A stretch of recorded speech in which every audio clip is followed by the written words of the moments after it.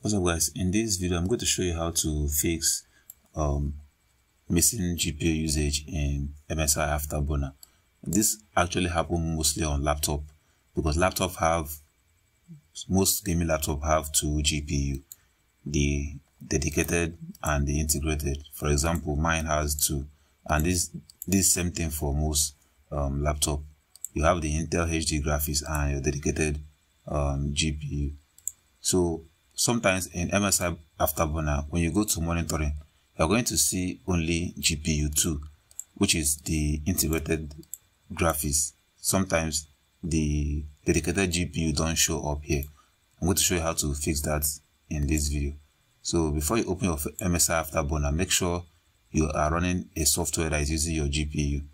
So let's go to the GPU activity. You're going to see that there's nothing running in, the um, dedicated GPU and when we open MSI Afterburner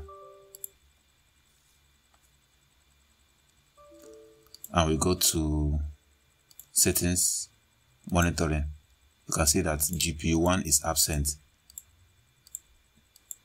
GPU1 is, GPU1 is absent which is the dedicated GPU of my laptop. So this is how I fix this issue. Make sure you run a software that is using your GPU so we're going to look for a software that is that is using um, our dedicated GPU, which is um, let me say Steam. I'm going to try Steam.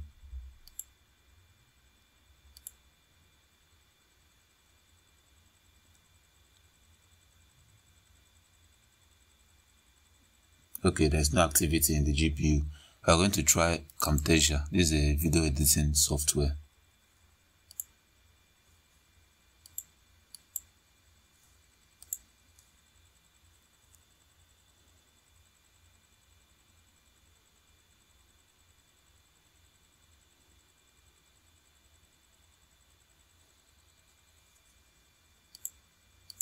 Okay click on new project.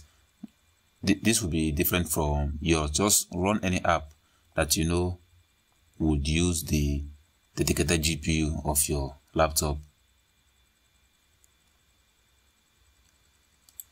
So we have Camtasia running and it's running on our GPU so now let's go and open uh, MSI Afterburner go to settings and monitoring. As you can see right here gpu gpu usage gpu1 is now available. So this is how you um, fix this issue with msi burner. Again this only happen in laptops. It doesn't happen in desktop computer happen in laptops. So this is how you fix this issue. That'll be all for this quick video. See you guys in the next one. Peace